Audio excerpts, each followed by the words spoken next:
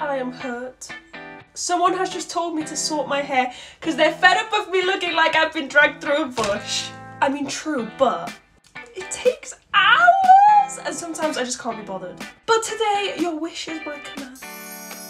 But now you've only got two wishes. I think most of you wanted to see it straight, so that's what we're gonna do. Somebody actually told me the other day that if I made a tuna face mask and put it on, that I'd get a million likes. Feel like it's a trap and everyone just wants to see me in pain. I haven't properly straightened my hair in ages. I usually wear it curly. I'm so close! This is definitely as close as I'm gonna get to straight hair because my hair is just so big and bushy and crazy. And I really do hope that was worth wasting a wish on.